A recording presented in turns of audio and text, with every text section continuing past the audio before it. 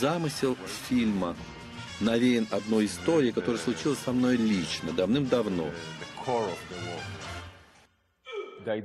Если у нас есть лишняя минутка, я расскажу ее вкратце. Это было, когда моя старшая дочь была старшеклассницей.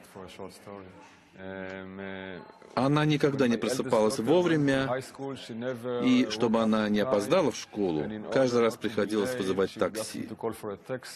Это влетало в копеечку.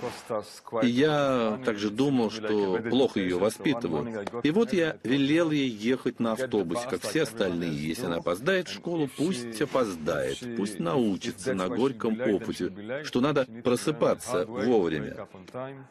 В школе шел автобус номер пять, и вот дочь пошла на автобус, а я через полчаса или еще раньше услышал по радио, что в автобусе номер пять подорвал себя террорист. Десятки человек погибли.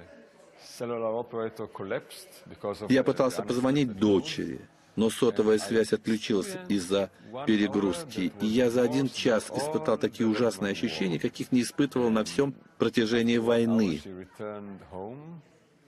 Через час дочь вернулась домой. Оказалось, она просто не успела по обыкновению на автобус. Опоздала, как всегда. Когда он отошел от остановки, она побежала за ним, но автобус ее не подождал. Я изводил себя мыслью, вроде бы я совершил поступок, который мне казался правильным, логичным, но